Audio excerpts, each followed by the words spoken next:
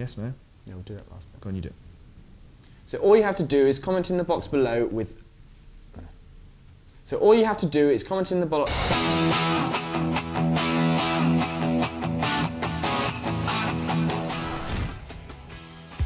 Hi, this is Stephen and Mark from iloveweightloss.co.uk, the place to be for fat loss and toning advice.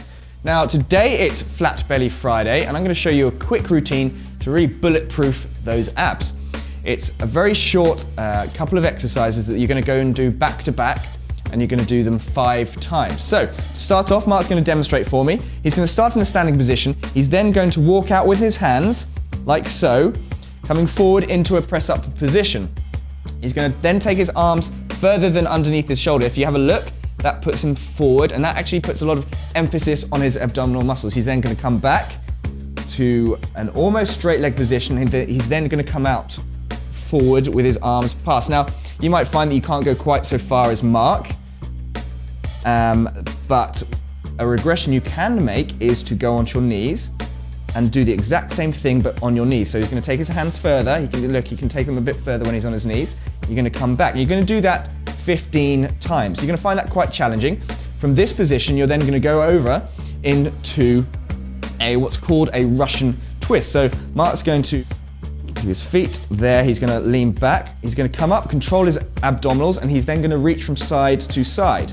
So maybe he needs to come up a little bit higher. I think he's come a little bit too low and he's going to rotate. So the whole time, his abdominals are tensed. He's actually really working those abdominals, but now he's working the obliques at the same time. Again, this is going to be done 15 times. So he's going to come there and back.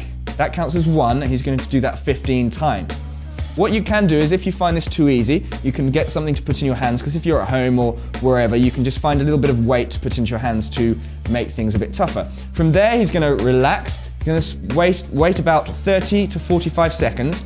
He's then going to repeat those two exercises back to back. So the first handstand walkout, 15 repetitions of that, straight into the Russian twist, 15 repetitions of that, rest for about 30 to 45 seconds, and repeat that five times. You're going to find that that really challenges your abdominal muscles and that will develop those bulletproof abs. So this is Stephen and Mark from iloveweightloss.co.uk. Let us know if you've tried it and how you found it.